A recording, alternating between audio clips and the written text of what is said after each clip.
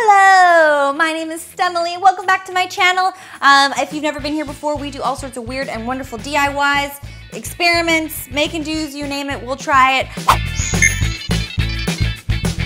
Today I have a little fact for you. When scientists were looking for water on the moon, they would drop an object from a spaceship to a target on the moon's surface.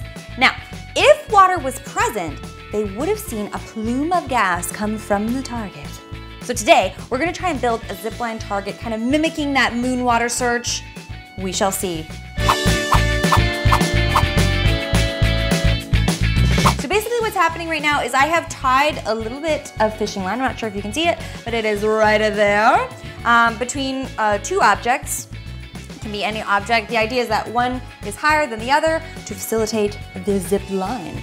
Um, I've also made this really fun basket. It's really just marbles, but I like the basket. Isn't it cute? It's so nice. Okay, so what I'm gonna do is I'm gonna try and send this uh, down the zip line. Hopefully it slides with ease. We shall see.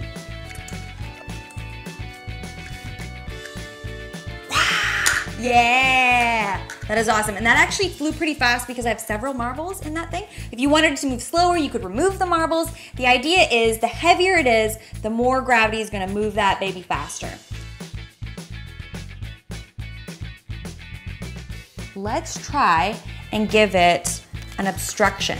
So I'm gonna put on this, I wanna call it like an ice cream cup. So I'm gonna try and uh, put this in the middle of the line to see if that is going to stop our little basket of goodies. Let's see. Um, if we're lucky, maybe a marble will even fall out. I don't know. Let's see.